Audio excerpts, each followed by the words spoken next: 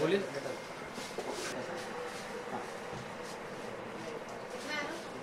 Tight tight tight focus order हाँ करोली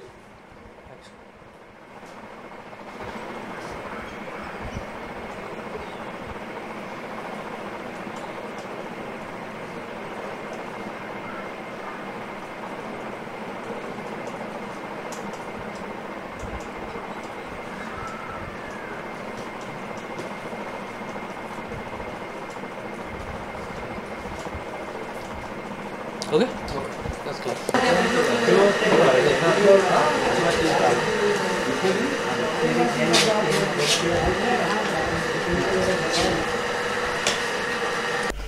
करना ही जाना चाहूँगा वेब सीरीज़ कॉन्सेप्ट काफ़ी पॉपुलर हो रहा है आप देख रहे हैं कि काफ़ी सारे बड़े प्रोड्यूसर्स बड़े एक्टर्स यू नो इन्वॉल्व हो रहे हैं इस चीज़ में। आप कितना सेटिस्फाइड हैं? आप क्या करना चाहेंगे? कितना पॉजिटिव स्टेप है और किस तरह से देखती हैं आगे इसका फ्यूचर आ, मुझे ऐसा लगता है कि आज से जैसे उस दिन भी मैं आपको बता रही थी कि दो तीन साल तीन साल से पहले हम लोग सिर्फ़ बात ही करते थे डिजिटल मार्केट की। बट इतना नॉलेज किसी को भी नहीं था। बट हाँ ये एक दिमाग में था कि आ, ऐसा कुछ होने वाला है।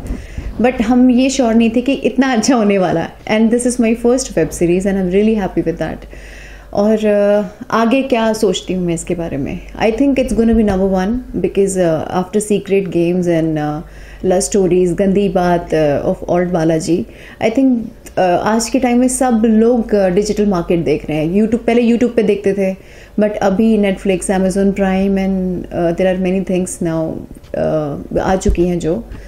तो मेरे ख्याल से आई थिंक डिजिटली मार्केट बहुत बड़ा होने वाला है and everybody is doing that सब बड़े बड़े आर्टिस्ट लोग काम कर रहे हैं।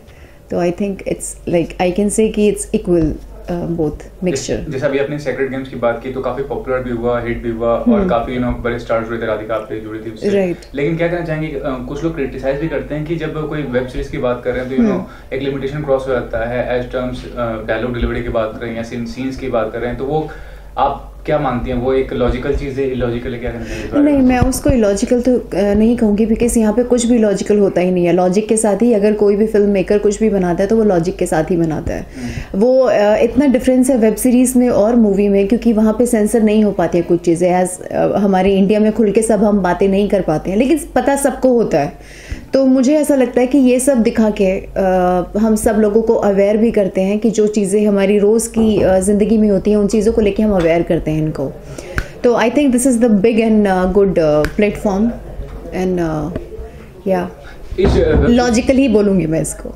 वेब सीरीज़ की बात करूँगा तो क्या पहले टाइटल क्या है क्या रोल प्ले कर रही हैं? आपके अलावा विजय राज जी हैं इतने टैलेंटेड एक्टर हैं। क्या कहना चाहेंगे कि हाँ सिर्फ़ विजय राज जी नहीं है काफ़ी सारे एक्टर हैं। इसमें जैसे छः एपिसोड्स का है ये।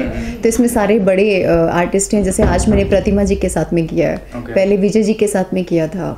अ, मैं मोना का कैरेक्टर प्ले कर रही हूँ। Mona and the web series name is Mona darling sorry Mona darling नहीं मोना होम डिलीवरी मैं उनको बोल रही थी कि मोना डार्लिंग देन उनके सडनली एक दिमाग से है कि Mona home delivery I think this is the best one तो yes this is the only character I am playing और जो कैरेक्टर प्ले करने में वो बताइए कि एक बहुत स्ट्रॉन्ग कैरेक्टर है बहुत स्ट्रॉन्ग कैरेक्टर है। ये इसमें अ, उसकी जर्नी को पूरा दिखाया गया है।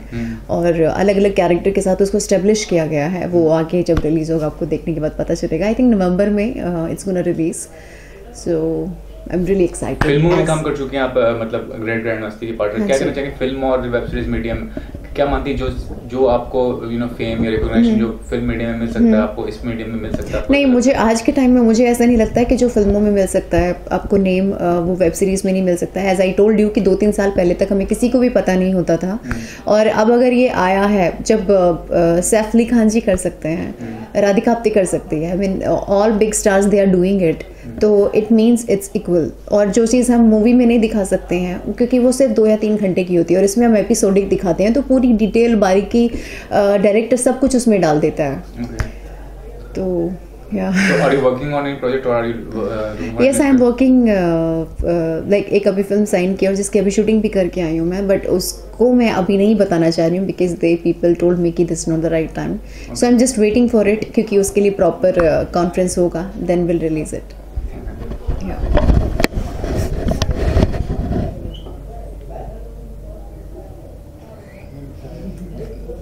takes lot of time to shoot one scene, na? Yeah.